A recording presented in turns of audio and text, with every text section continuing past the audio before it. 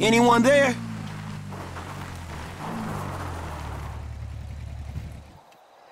Now hold still while I rearrange your brain cells.